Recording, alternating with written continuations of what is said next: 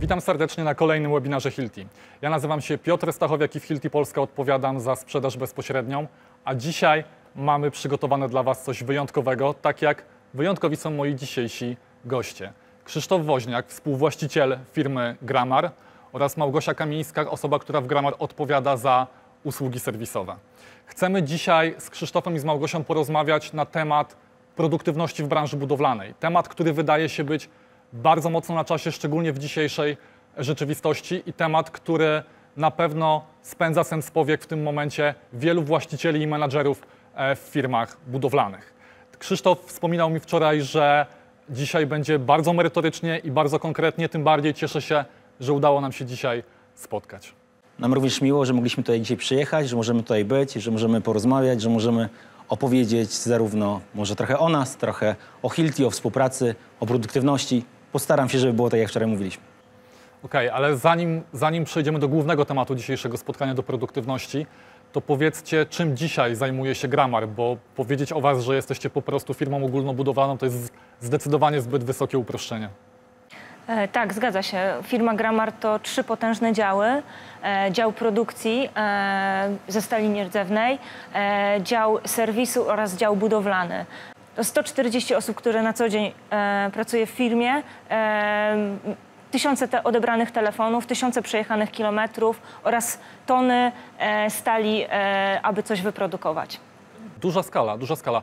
Ale słuchajcie, a jak wyglądała historia Gramar, bo to nie jest firma, która ma za sobą rok czy dwa. No nie, historia Gramaru ma już, ma już 12 lat. E, tak naprawdę w 2009 roku moja żona e, założyła firmę Gramar. Żeby było śmiesznie, założyła firmę 1 kwietnia 2009 roku. Miał być prima aprilis, dzisiaj jest ponad 12 lat i, i tak sobie wydaje mi się coraz prężniej działamy. E, żona zaczynała tak naprawdę, firma Gramar wówczas zaczynała od tylko serwisów i tak z roku na rok dochodziło nam i klientów serwisowych i zmienialiśmy trochę, dokładaliśmy, dywersyfikowaliśmy nasze działania. Dokładaliśmy dział serwisu, dział produkcji, dział, dział budowlany. No i dzisiaj jest, to jest to, co Gosia powiedziała, 140 osób. W 2000, w 2009 roku jed, mieliśmy jednego klienta, z którym zaczynaliśmy pracować. Dzisiaj e, obsługujemy tak naprawdę serwisowo ponad 2,5 tysiąca różnych placówek handlowych, usługowych, od, od stacji paliw po, po, po mniejsze i większe sklepy. E, Jest tego dużo, jest tego sporo i, i, i z roku na rok przybywa. No i nie chcemy się zatrzymywać i cały czas e, pchamy do przodu, gonimy jak można najdalej. I... Pojawiają się też flagowe inwestycje, tak? Bo budowa galerii handlowej w Golubiu Dobrzynie, tak? Tak, zaczęliśmy w tym roku, w maju tego roku budować e, największą jak na tej pory dla naszą galerię, tam 3800 m2. E, jest to obiekt skupiony w jednym miejscu, 3800 metrów, natomiast cały czas budujemy też inne obiekty po całej Polsce. Obecnie mamy sześć różnych budów na poziomie 2000 m2 i to są takie inwestycje stricte budowlane, od których te 4 czy tam 5 lat temu zaczęliśmy tak mocno się rozwijać w tym kierunku budowlanym. Stąd, e, tak jak mówiłeś na początku, nie jest tylko firma budowlana, ale też firma serwisowa, produkcyjna. Jakby te nasze DNA wychodzi z serwisu i cały czas ten serwis pielęgnujemy, dbamy o to i, i staramy się robić jak najwięcej jak najmocniej. Krzysztof, ta skala biznesu, o której opowiadasz, jest już naprawdę imponująca. To już jest duża liczba osób, duża skala samego biznesu, ale ja wiem też, że Gramar dzisiaj to firma z drugiej strony bardzo lokalna, bardzo związana z lokalną społecznością i bardzo rodzinna. Tak, to prawda. E, firmę Joanna założyła w Golubiu Dobrzyniu w roku 2009, jak mówiłem wcześniej. Natomiast e, przez te lata wszystkie, gdzie się rozwijaliśmy, potrzebowaliśmy więcej miejsca. Przenieśliśmy się z Golubia Dobrzynia do Kowalewa Pomorskiego i tam mamy teraz siedzibę swoją. E, to jest to samo, ten sam powiat, więc generalnie ludzie przeszli za nami, to jest 15 km różnicy.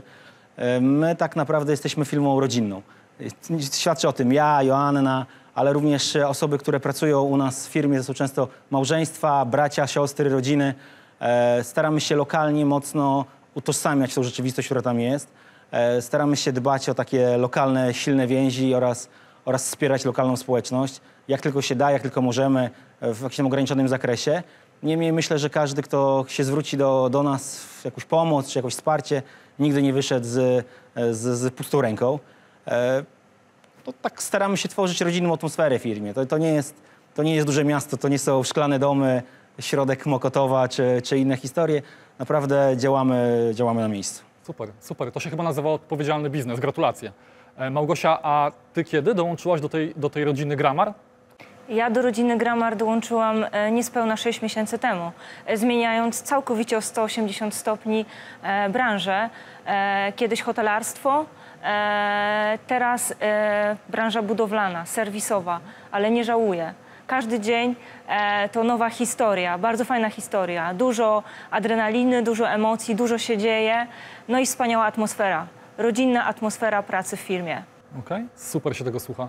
Powiedzcie mi, a wracając do twardego biznesu, na jakim etapie otworzyliście właśnie temat produktywności? To jest pewnie pytanie do Ciebie, Krzysztof. Ty jako właściciel razem z Asią, e, kiedy podjęliście decyzję, że, że trzeba zacząć przy tej skali biznesu myśleć o produktywności? O, i tak naprawdę te 4 czy 5 lat temu, jak zaczęliśmy tak mocniej działać, e, jak zaczęliśmy więcej tematów naraz robić i zawsze przychodzi taki okres, jak w każdej korporacji, że nie jesteśmy korporacją dużą, ale przychodzi taki moment półroczny, roczny okres podliczeń, podsumowań, weryfikacji tego, co się wydarzyło, co zrobiliśmy, e, jaki- jak, jak wygląda ten dolny, prawy narożnik w Excelu. E, To w pewnym momencie tak sobie siadamy i patrzymy, że kurczę, że nagle nie, nie nadążamy z ilością faktur przerobowych. W związku z czym pierwszym krokiem był rozwój działu księgowego, działu, działu finansowego. E, Udało się to zrobić, to nagle się okazało, że nie mamy, nie mamy wystarczającą ilość ludzi technicznych, która mogłaby zarządzać budowami, nadzorować te prace. E, I to był kolejny ruch, który mówi, kurczę, musimy zmienić produktywność, tak żeby ten Excel, prawy dolny narożnik pokazał coś ładnego. E, No i tak z, każ- z każdym nie wiem, półroczem, każdym podsumowaniem jakiegoś okresu nagle coś się rodzi, że trzeba coś jeszcze e, ulepszyć, usprawnić, dołożyć, zmienić, tak żeby, żeby, żeby, żebyśmy my byli zadowoleni. Nie mamy akcjonariuszy, przed nikim się nie musimy tłumaczyć. Generalnie sami przed sobą tak naprawdę podnosimy tą poprzeczkę, że skoro w zeszłym roku było tak, no to zróbmy, żeby w tym było lepiej, więcej, mocniej. No, no i tak to jakoś gonimy. Czyli małe zmiany, które przynoszą, przynoszą duży efekt. Fajnie. Małgosiu, a z Twojej perspektywy, czym jest dla Ciebie z punktu widzenia menadżera serwisowego w Gramar produktywność? Produktywność to jest efektywność, e, to jest cała logistyka. E, w dziale serwisu, oprócz serwisantów, którzy codziennie ogromną flotą wyjeżdżają w Polskę i naprawiają e, różnego rodzaju rzeczy, to również e, ekipa w biurze, która siedzi i planuje. I tak naprawdę my tworzymy ten trzon e, e, tego, co się później dzieje na następny dzień, wykorzystując narzędzia, które dostajemy właśnie od Krzysztofa i Joanny. Okej. A czym jest produktywność? Jak definiuje produktywność właściciel takiej firmy jak Gramar? Żeby to nie zabrzmiało źle, ja wspomniałem dwukrotnie o tym, raz jeszcze powiem, ten prawy dolny narożnik Excela, który pokazuje tak naprawdę, ile jesteśmy w stanie zrobić, jakim nakładem sił, jakim nakładem finansowym, tak żeby zobaczyć, czy stać nas finalnie na kolejną inwestycję, na kolejny zakup czegoś, na, na, do, do siebie, ludzi, do, do kupienia sprzętu. To jest, to jest ten wynik tak naprawdę, który powoduje, że, że, że o niego walczymy. Ja też wiem od, od moich ludzi w Hilti, że, że to jest rzeczywiście dla Was istotne i to jest pewnie też powód, dla którego jesteście tyle lat na rynku w naprawdę dobrej, e, w dobrej kondycji, więc wielkie gratulacje za to. E, Powiedzcie mi, a na jakim etapie tej podróży do produktywności pojawiło się Hilti? Jak to wyglądało? No to jest to właśnie, co mówiłem, Piotr, czyli takie podsumowania, podsumowania pół roku. Zeszły rok, jak wszyscy wiecie, był bardzo trudny, rok covidowy i tak naprawdę wydawać się mogło być, że nie wiadomo, co się wydarzy. Przyszedł marzec, kwiecień, gdzie, gdzie tak naprawdę nasi klienci, w dużej mierze branża spożywcza wstrzymała wszystko. Później był taki ruch, że wszystko wystartowało z powrotem. Działaliśmy w ograniczonym zakresie, ale mimo to, mimo to gdzieś tam staraliśmy się gonić, gonić, gonić. Wiedzieliśmy, że COVID się skończy. No jak sobie usiedliśmy na koniec roku, podliczyliśmy pewne, pewne słupki księgowo-excelowe, to nagle się okazuje, że kurczę, że strasznie dużo rzeczy wynajmowaliśmy od e, firm ogólnodostępnych na rynku. E, i, i, I usiedliśmy sobie i pomyśleliśmy, może czas najwyższy sprzętu więcej mieć u siebie niż wypożyczać kogoś innego. No i stąd e, jakby moje zadziałanie w stosunku do Was, stąd odnalezienie Was w internecie, kontakt, telefon, infolinia, mega szybko, sprawnie to zadziałało. E, tak naprawdę gdzieś w okresie między świętami a Nowym Rokiem wysłałem zajawkę, zaraz na początku roku był kontakt, e, w początek stycznia spotkanie, E, w- wiadomo, maseczki, siedzieliśmy wtedy, takie, to nie było naturalne, ale jak sobie usiedliśmy na sali konferencyjnej, jeden z drugiej strony, e, pogadaliśmy, porozmawialiśmy, no i tak, i tak to ruszyło. I, I twój zespół, który przyjechał, wówczas e, Radek, e, następnie później Sylwia dojechała, Mateusz, oni wszyscy tak naprawdę tak się nami obsłużyli, że aż, aż za szybko to było, nie? że to, to nas przerosło wtedy. Nie, ale to już, to potrzebujecie tych danych, tych danych, tych danych. Tak, tak, Sylwia mówi, daj mi te dane, ja z tego zrobię ładną, ładne zestawienie, ładną prezentację, będziemy wiedzieć, gdzie jesteśmy. No i to poszło sprawnie, naprawdę. Ja też wiem od mojej ekipy, że byłeś tam też tą, tą osobą niecierpliwą, która dociskała trochę, że chciałeś ten wynik mieć szybko, że, że chciałeś mieć to za chwilę, prawda? Tak, no tak działaliśmy, bo no, no, tak działamy też w serwisie i na co dzień generalnie.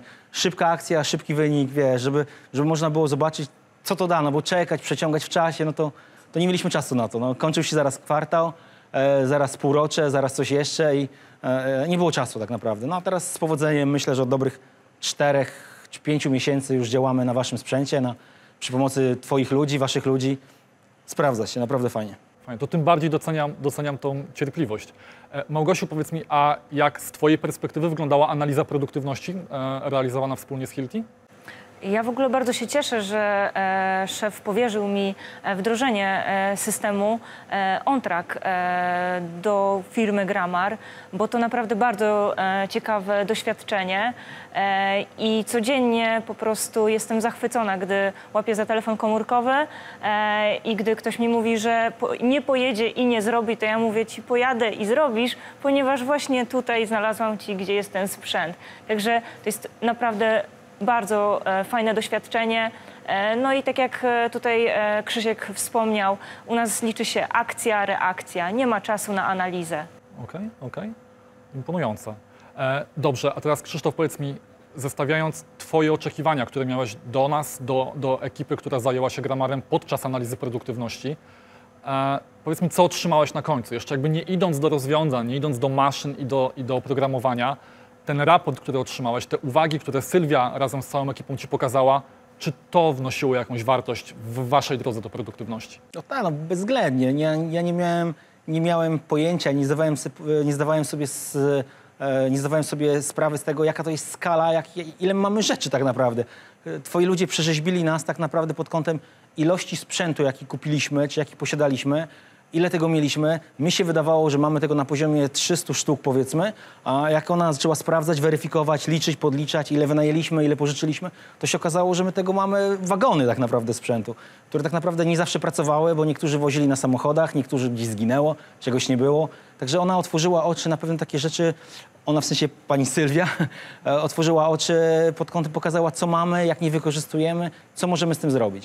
I tak naprawdę zostało to zebrane ładnie w całość. Pomaga też to jakby w zarządzaniu, co powiedziała Gosia, z ludźmi i sprzętem podczas prac, ale również e, jest to tak naprawdę narzędzie stricte księgowe, do rozrachunków stricte, gdzie mamy jakieś środki trwałe, gdzie one są lokowane, co z tym się dzieje. Także zakres wykorzystania, e, wykorzystania i on-tracka i, i tej całej e, analizy produktywności jest naprawdę bardzo wymierny w, w działaniu na co dzień. Okej. Co było trudne z Waszej perspektywy podczas analizy i podczas potem wdrożenia rozwiązania? Podczas analizy chyba trudne było tylko to, e, że musiałem przepchnąć tą żabę, że zobaczyłem, że rzeczywiście zamówiłem tyle i tyle sprzętu, zamówiłem tego i tyle. Mówię, Boże, ile tego było, ile pieniędzy zmarnowanych zupełnie bezsensownie. E, I to chyba była to najtrudniejsza rzecz. Ona tak naprawdę większych, większych zmartwień mi to nie przyniosła, ta analiza. Co więcej, otworzyła oczy i stąd był ten pomysł, żeby, żeby zadziałać, żeby ruszyć, żeby, żeby coś z tym zrobić. Jasne. Małgosia, z Twojej perspektywy, bo zakładam, że Ty jesteś bardzo operacyjnie teraz włączona w temat choćby implementacji. Ja wiem, że właśnie chyba wczoraj, z tego co rozmawialiśmy, skończyliście kolejny etap. Co było trudne i co było interesujące z Twojej perspektywy? Interesujące jest wszystko, nie, nie było żadnych trudności, e, więc e, system działa. E, nawet wczoraj, nie wiedząc o tym s- dzisiejszym naszym spotkaniu, e, potwierdziłam e, Joannie i Krzysztofowi, że implementacja w firmie Gramar właśnie się skończyła i teraz już tylko będziemy tak naprawdę na tym pracować i niech to nam przynosi jak największe korzyści.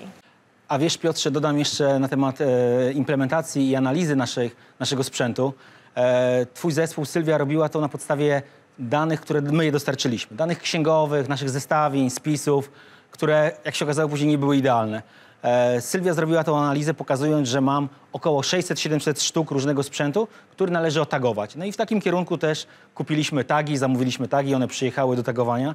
Jak zaczęliśmy tagować te urządzenia wszystkie na poszczególnych samochodach, to się okazuje, że w połowie samochodów już jest koniec tagów, że, że brakuje, że tego sprzętu jest zdecydowanie więcej, co świadczy też o tym, że ta niedoskonałość naszej firmy na etapie tym rozwoju, szybkości rozwoju, powodowało, że nie wszystkie sprzęty mieliśmy fizycznie wciągnięte, czy na stan chłopaków, czy na stan serwisantów, czy na środki trwałe. No i to zostało fajnie, fajnie ustawione teraz, wiemy ile mamy tych rzeczy, starych rzeczy. Analiza spowodowała też to, że wyszło na jaw, ile potrzebujemy faktycznie rzeczy od Was wynająć w leasingu długoterminowym. E, I to, i, to, I to się bardzo chwali. Ja chciałem tu podziękować raz jeszcze za to, że nie wciskaliście mi jakby nadmiarnej ilości towaru, takiego, która by stała na półce, który by leżał, nie pracowałby. E, jasno i czytelnie powiedzieliście, słuchaj, weź pięć wkrętarek, osiem wiertarek, dwa, dwie, dwie akumulatorki i tak dalej, i tak dalej, tylko po to, żeby to jeździło, żeby to nie leżało u ciebie. Zawsze mogę dobrać w każdej chwili, no i to się zdarzyło tak naprawdę.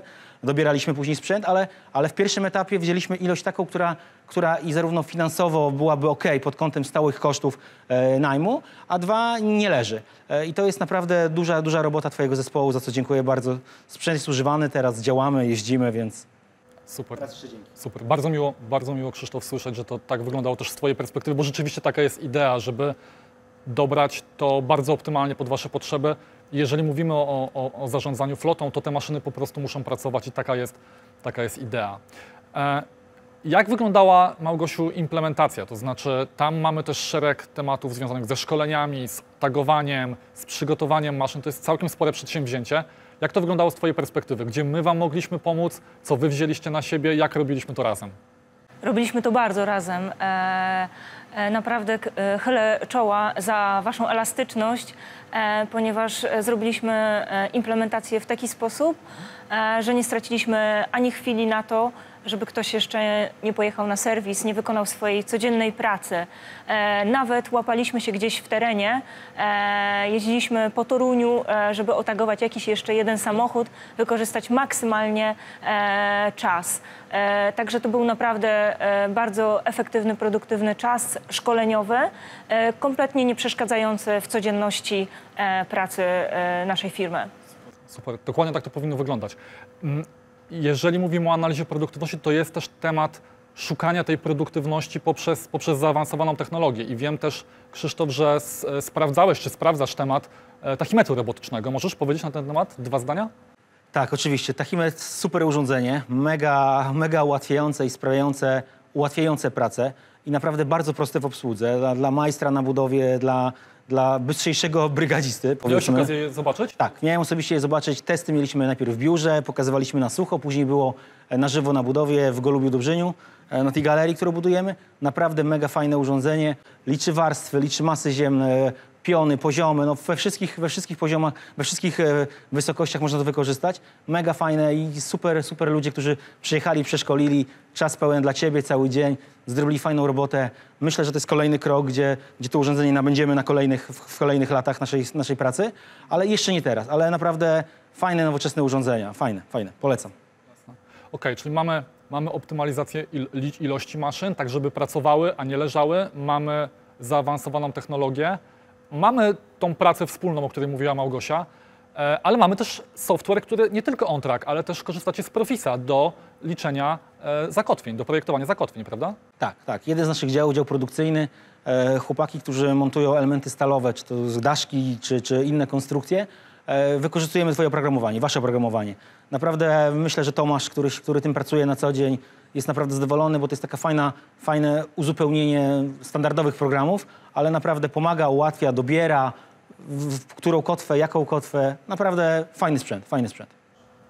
Krzysztof, mamy dzisiaj dużo punktów styku, to o czym rozmawiałeś. Mamy, mamy maszyny, mieliśmy całą analizę produktywności, mamy oprogramowanie, czy to OnTrack, czy to Profis, ale żebyśmy doszli do tego miejsca, w którym jesteśmy, musiało minąć trochę czasu i umówmy się, że na samym początku to wy musieliście bardzo odkryć karty i bardzo nam zaufać. E, bardzo wprost pytanie, Krzysztof, jakby dlaczego zdecydowaliście się zaufać Hilti? E, Piotr, na, na rynku Hilti jest marką bardzo rozpoznawalną i bardzo taką premium marką oraz marką taką e, jakościowo dobrą. Taką ma opinię wśród, wśród e, budowlańców, wśród firm, wśród dostawców. Każdy wie, że jak ma sprzęt Hilti, to jest super. U nas przez ten cały czas e, do tej pory pracowaliśmy na zupełnie innym sprzęcie.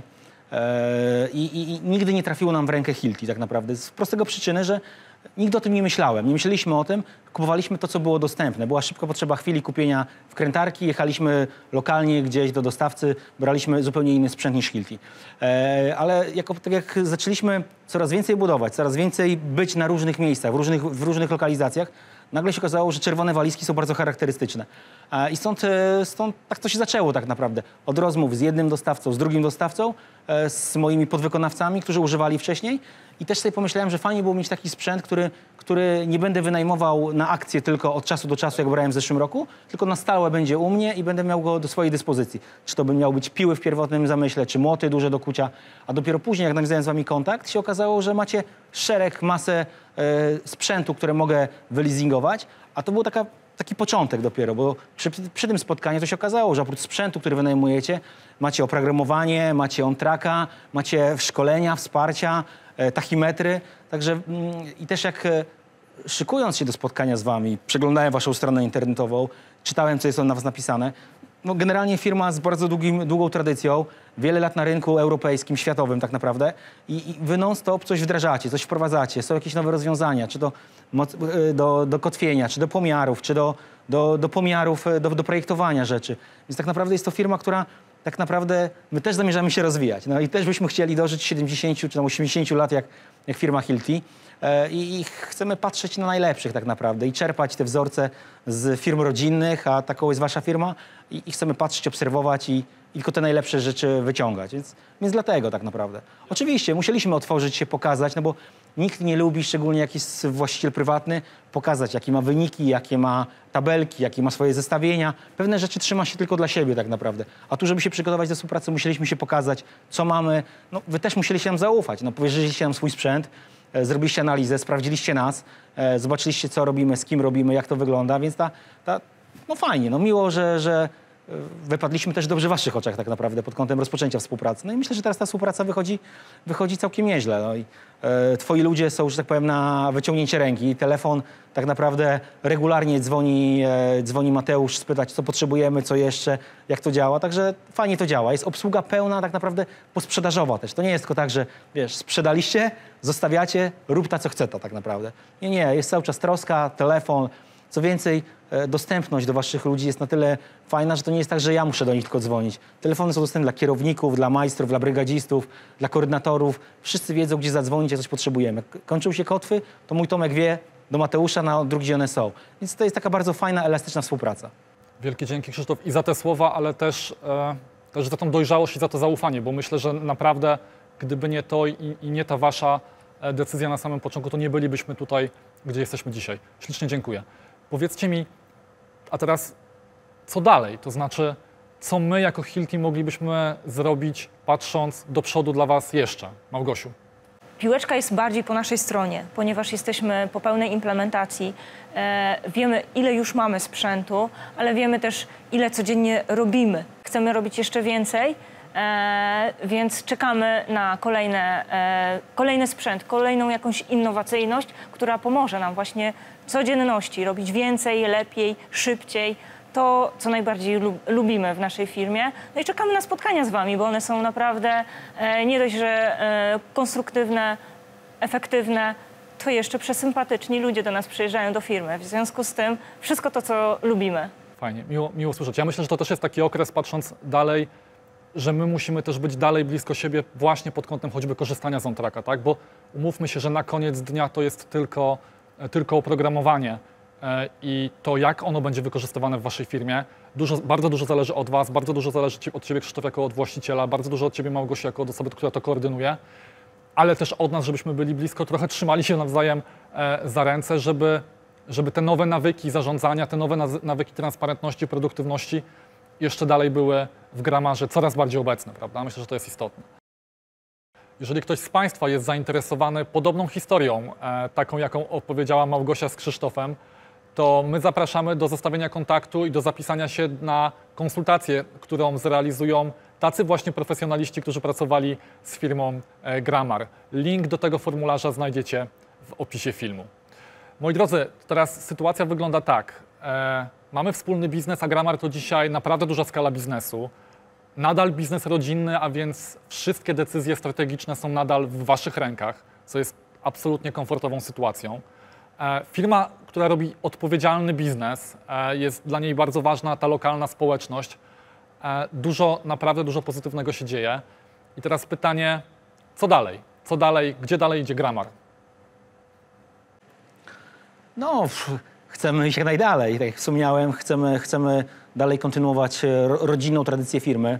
Nie zamierzamy tu żadnych zmian w tym, w tym zakresie robić. E, chcemy dalej pozyskiwać nowych klientów, e, nowych, no, nowy rynek. Tak naprawdę pod kątem działu serwisowego, no, tak jak wspomniałem, zaczynaliśmy z jednym klientem. Dzisiaj mamy ponad 2,5 tysiąca różnych obiektów, które serwisujemy, które są 24 na dobę obsługiwane przez 12-14 osób e, na bieżąco koordynatorów, nie mówiąc o serwisantach. E, To są budowy, które chcemy realizować w dalszym ciągu i chcemy, chcemy podnosić swoje kwalifikacje. Chcemy robić też trudniejsze budowy, nie tylko proste bryły, ale, ale bardziej skomplikowane i większe. E, Produkować z elementów stalowych, chociaż w dzisiejszych czasach ciężko to produkować, bo ostatnie pół roku to wariackie ceny, które sam wiesz najlepiej, jak wyglądały na rynku. Niemniej staramy się e, tutaj optymalizować nasze wewnętrzne, wewnętrzne koszty, tak żebyśmy mogli być dalej konkurencyjni na rynku w tym zakresie. No chcemy więcej tak naprawdę. Co powiedziałem na wstępie, jak siadamy sobie zawsze na koniec roku, Zaśku, patrzymy na, na tego Excela, no to mówimy, udało się, że ten Excel cały czas jest, jest większy, ale to też wynika z tego, że coraz więcej robimy. E, I, no i chcemy coraz więcej robić. Chcemy obrotowo być silniejsi, mocniejsi, mieć coraz więcej klientów. Chcemy, chcemy żeby o firmie Ogramar coraz więcej osób słyszało, wiedziało. Chcemy, żeby przy pomocy waszego sprzętu, żeby ta robota była szybciej wykonywana, sprawniej wykonywana. No to jest bardzo ważne, żeby, żeby klienci byli zadowoleni. Generalnie serwis to jest taka niewdzięczna, niewdzięczna część e, gałęzi, że nie każdy, znaczy wiele osób chciałby robić, nie każdy potrafi tak naprawdę, bo to jest bardzo trudne. Mieliśmy ostatnio akcję dla jednego z klientów, nocna akcja z soboty na niedzielę w Stegnie. Trzeba było na szybku rzęsto pierwsze w nocy kilku chłopaków postawić, żeby pojechać. Za co im bardzo dziękuję, że wstali, pojechali robota została zrobiona. No jest takich wiele rzeczy, gdzie, gdzie ta rodzinność też wychodzi, te, te, te, te zbliżenia się z nimi i trzymanie ich jakby przy sobie cały czas przez te wiele lat. Więc, więc to, jest, to jest ważne. No chcemy, chcemy się rozwijać, o tak. Piękna historia. Piękna. A więc jakby ja w imieniu swoim, ale też, ale też Hilti życzę Wam przede wszystkim w takim wypadku kolejnych 14, tak? Kolejnych 14 lat co najmniej e, w takiej fajnej drodze do produktywności, ale w tej też rodzinności, bo to jest coś, co mnie osobiście naprawdę Krzysiek, Małgosia absolutnie ujmuje w tym, jak ten biznes prowadzicie. Także wszystkiego najlepszego ode mnie i od całego Hilti. E, a jeżeli gdzieś kiedyś będziemy mogli jeszcze dołożyć cegiełkę do tej, do tej produktywności, no to jakby służymy i jesteśmy do dyspozycji. Moi drodzy, wydaje mi się, że ta historia odpowiedziana przez Małgosię i Krzysztofa naprawdę wnosi coś bardzo konkretnego dla wielu dzisiejszych właścicieli i menadżerów firm budowlanych, którzy stoją przed pewnymi decyzjami e, dotyczącymi właśnie budowania produktywności, budowania produktywności na naprawdę niełatwym rynku, jakim jest e, rynek budowlany. Jeżeli ktoś z Was jest zainteresowany zgłębieniem z nami dalej tematu produktywności, zapraszamy do pozostawienia kontaktu do siebie w, e, w linku w opisie filmu, a nasi specjaliści, ci właśnie, którzy pracowali z Małgosią i z Krzysztofem, na pewno się z Wami skontaktują. Zapraszamy również na kolejny webinar, w którym dalej będziemy eksplorować temat produktywności w branży budowlanej. Ja chciałem Wam bardzo serdecznie, Krzysztof, Małgosia, podziękować za dzisiaj. Świetna rozmowa, bardzo wartościowa dla mnie. My również dziękujemy. To była super przygoda, e, kolejna przygoda Hilti z Gramarem. Bardzo dziękujemy. Do zobaczenia.